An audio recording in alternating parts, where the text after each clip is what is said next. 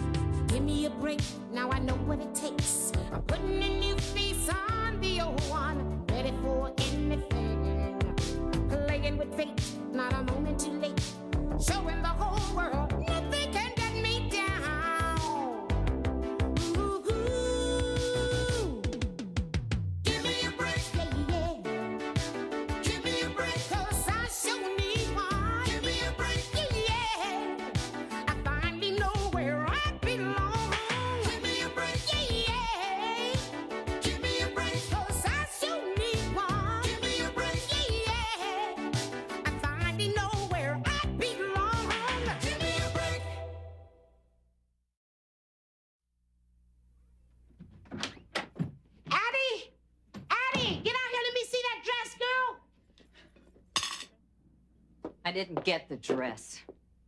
What do you mean you didn't get the dress? I couldn't find anything. Addie, you mean in all of New York City you couldn't find a dress to fit? Now, I know you are scrawny and hard to fit and all, honey, but somewhere on the Isle of Manhattan, a Hasbro dress is gonna fit you, girl.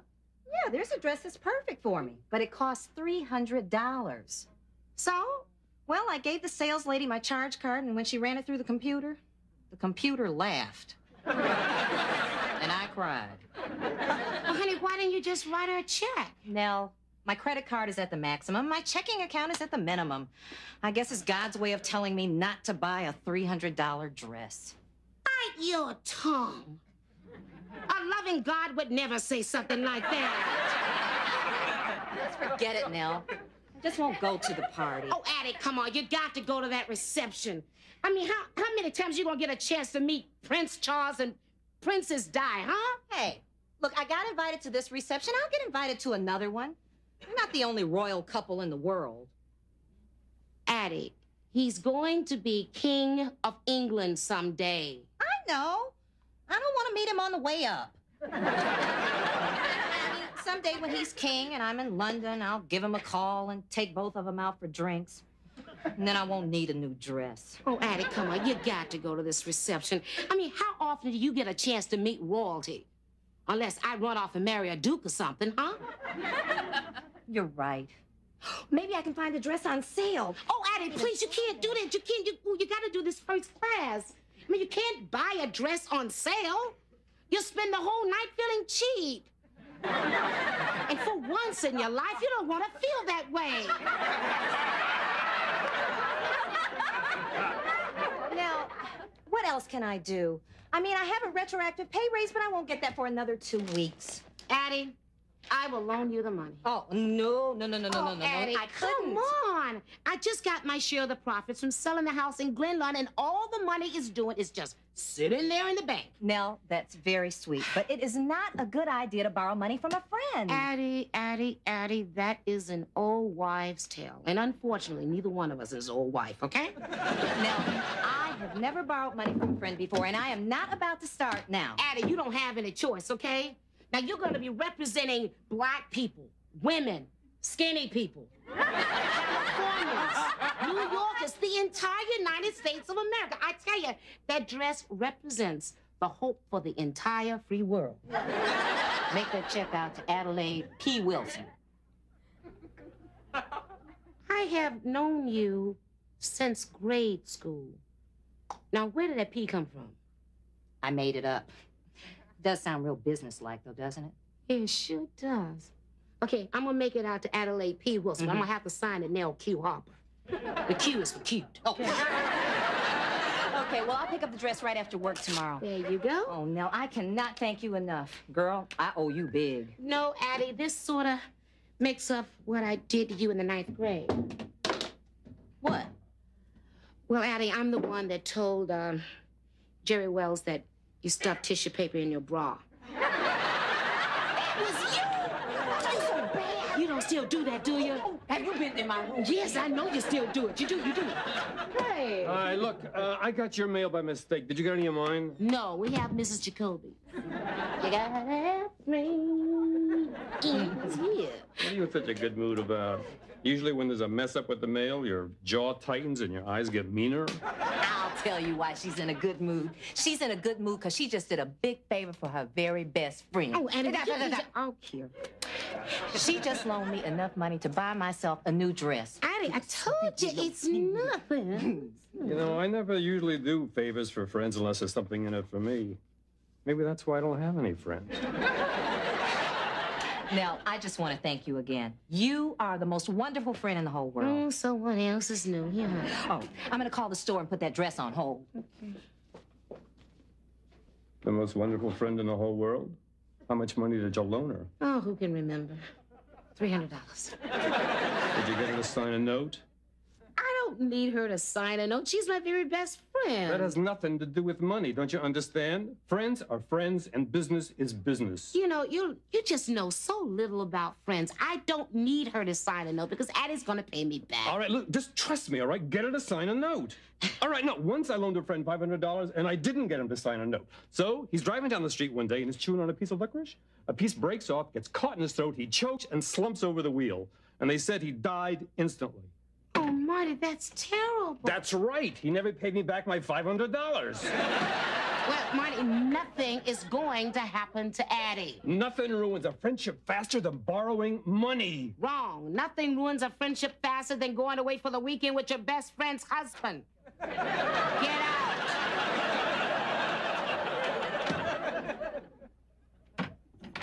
Nell, Nell, stay right there. I got the dress. I me got the see dress, it. and Let you are it. gonna love it. Let me see it. Let me see it. Addie. Oh, it's gorgeous. You're going to be the best dressed woman at that reception. Oh, Nell, thank you. And you know, I owe it all to you. You know, you were right. There is nothing wrong with borrowing money from a friend. You know, I couldn't agree with you more. you don't eat licorice, do you?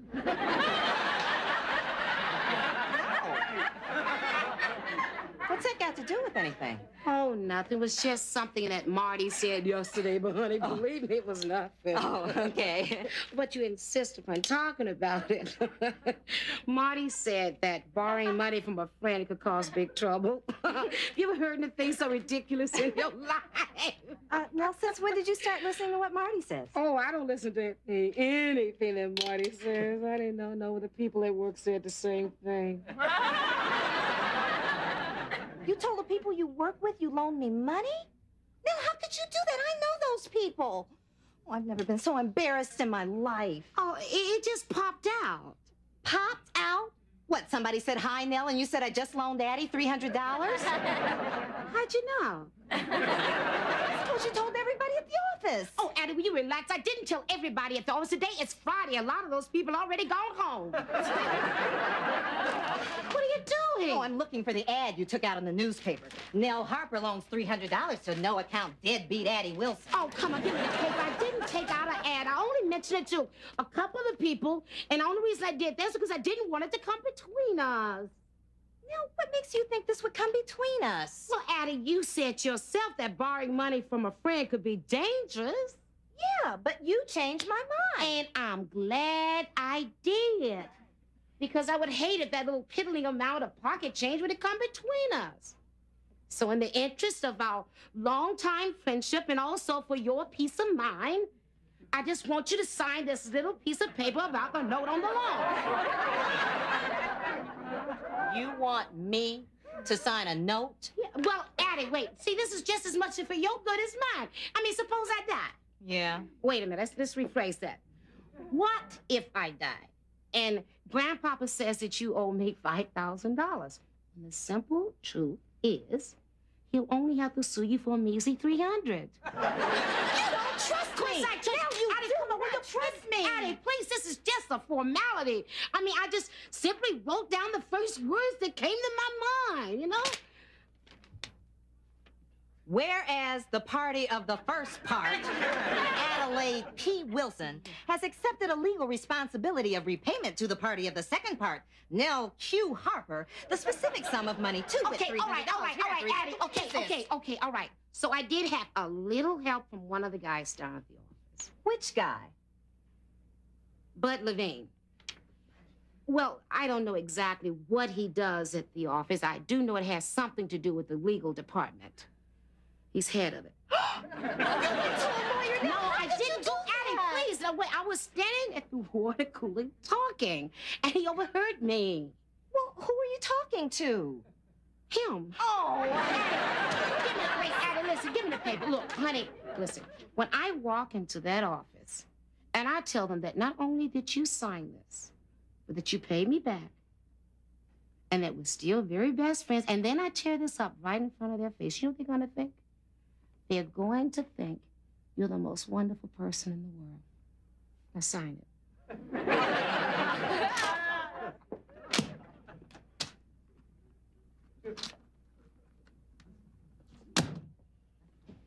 Addie Bud wants a copy for his files.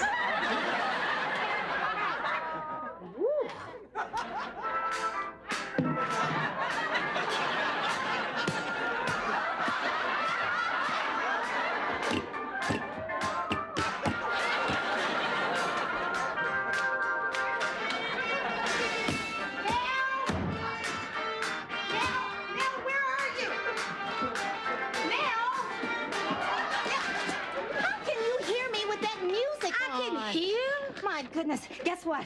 What? I stopped by the university, you know, to check with Dean Chance about how we're going to get to the party. And my retroactive pay raise was there, and it came to $924.62. Ah, Addie, that's wonderful. So I bought new shoes to go with my dress Uh-oh. and a new purse. And Ah. wait till you see these earrings.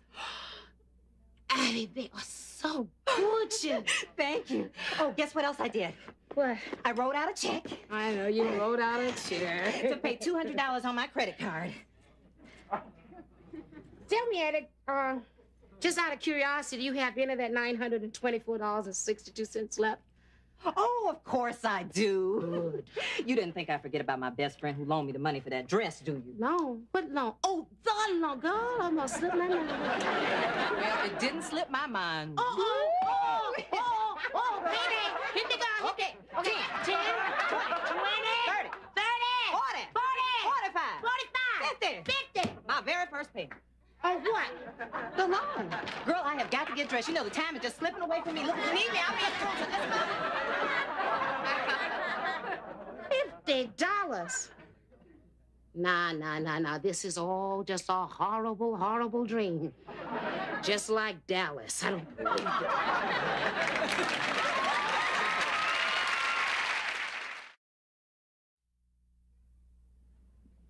Matthew, can I borrow your crayons? When I finish. Okay, I'll be in our room.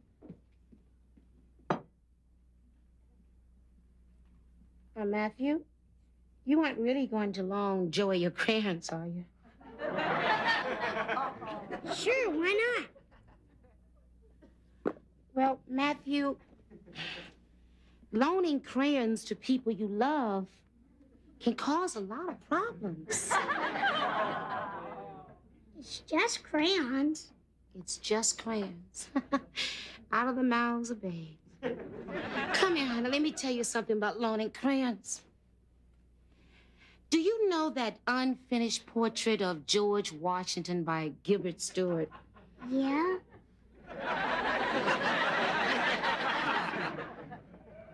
Well, let me tell you something about old Gilbert, honey. You want to know why that portrait was unfinished? Because Gilbert loaned his crayons to his very best friend, Benedict Arnold. Need I say more? No. Well, honey, take your crayons and go to your room, okay? There you go. Oh, and Matthew, one day you'll thank me for this. I wish someone had told me about crayons when I was his age. Coming. Hey now. Hi, Maggie. Come in, have some coffee. Oh, thanks.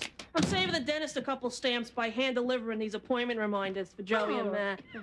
I figure that gives me a leg up on employee of the month. Thanks. Hey, what are friends for, huh? Well, friends are for not loaning money to. Says who? I mean, I was a little short myself this month, but I ran into Addie and she loaned me 75 bucks.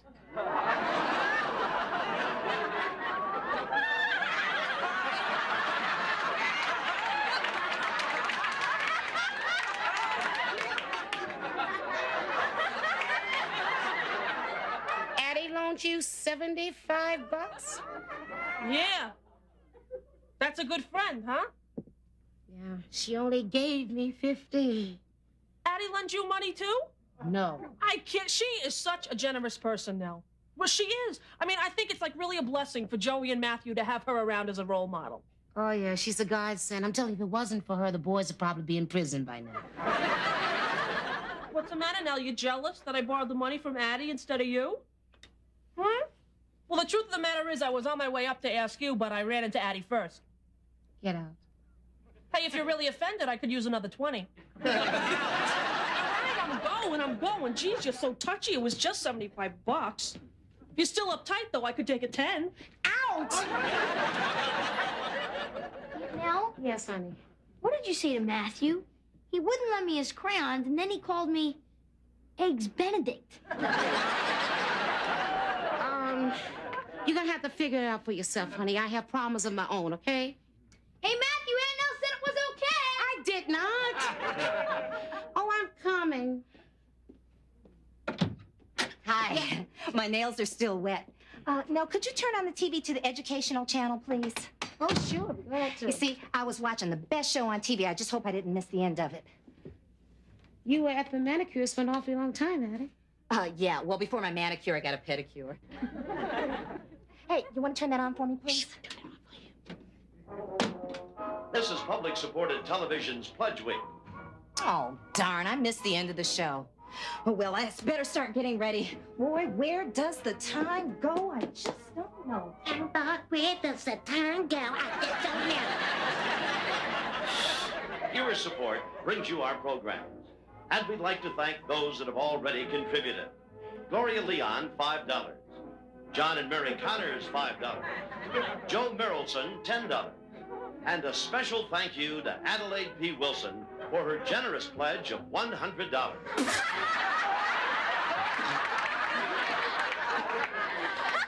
Hundred dollars from Adelaide P. Wilson? That's right. That's the kind of generosity that keeps this station alive. Wait till Bud hears about this. I got everybody's mail to this. I... Just get in here, please. Addie's in the other room, so please just keep your voice down, okay? I can't. I'm a tenor. You know, just keep your voice down. What's wrong anyway? Addie is spending money like a drunken sailor. What? If I had loaned her any more money, she would have gone out and built a hospital. I get it now. You're up, still upset about the loan, right? I told you, get a note. I got a note. But Addie has purse, she has new earrings, and if you take off those new shoes I bought her, you'll see where the rest of my money went. All right, well, look, the party's tonight, right? It's like Cinderella, so don't ruin it for her. But the minute she comes home, nail her for the money. I'm gonna go upstairs to Mrs. Jacoby. Do you know she's being audited? See you later. Nell? Nell? Yes, Addie. Nell, can I use some of your hand lotion? Why don't you take it all, Addie? You can pay me back. One finger at a time.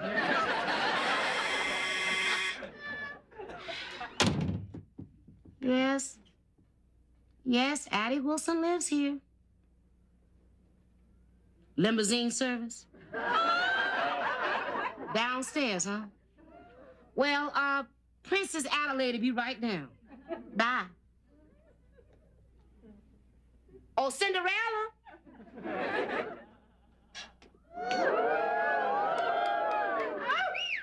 What do you think?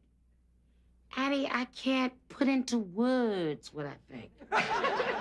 Uh, was that the limousine? Yeah, I didn't know there was a bus drive. I know, it's a little extravagant, but hey, I got the money. You, you got the money. Yeah, yeah. Speaking of which, uh, do you have change for a 50? Of course I do. You know I made the money. I bailed out Chrysler. Yeah, well, it's just that I want to tip the chauffeur a 20. Just a 20? Oh. Here you go. Here's 10, 20, 30, 40, 45. Here you go. Mhm. 50. There you go. Thanks a lot, Nell. Oh, Nell, you know, this is going to be the most exciting night of my life. And I owe it all to you. You certainly do.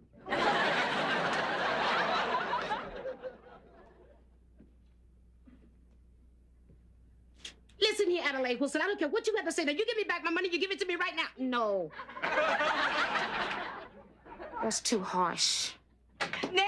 Nell! Look. Nell, it was incredible. I'm going to be Nell, perfectly out of this honest world. with you. Oh, Nell, if I live to be 100 years old, I will never, ever, ever forget this night.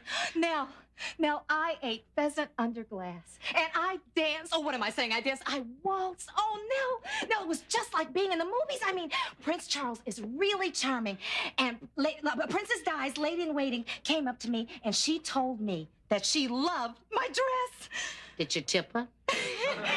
Nell, you want to know what the best part of the whole evening was? No, tell me.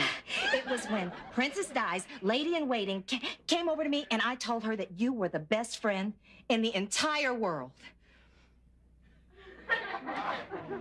Uh, you, you, you, you. Wow, you talked about me. Talked about you? Now, I told everybody at the whole party how you loaned me the money for this dress and how you told me to do everything first class. Oh, Nell, you are the most generous person in the world. Thank you for the most exciting night of my life. I just love you for this. Addie, uh, please stop this. Okay, Addie. yeah, it's it's the least I can do. I mean, you are my very best friend. Now stop it. Just stop it. You know, there was one other thing that I wanted to do.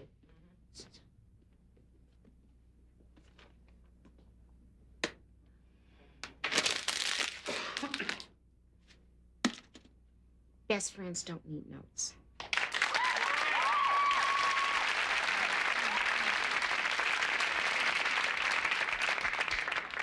Thank you, Nell. Um, hey, where are the boys? Oh, I told them they could spend the night at Grandpa's. Great. Hey, why don't we go out and do the town, honey? I got the limo for I two more hours. Addie. Come on now. Come on, come on, on. right, I don't have the exact bus fare in. Why don't you just wait a little more? I just want to pull myself together, okay? Oh, okay. I'll be right And, uh. I'll be right, I, right behind. Okay. Right behind.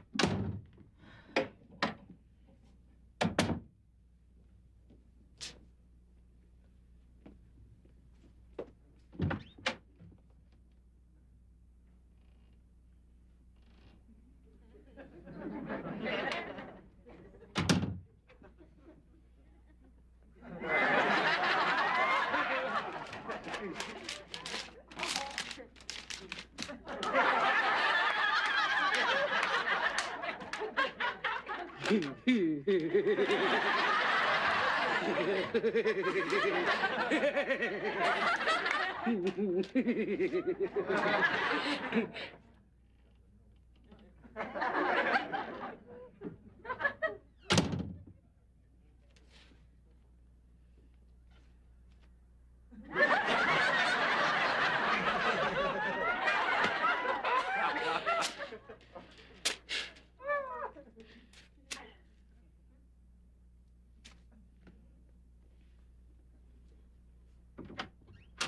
worry, Buddy has a copy.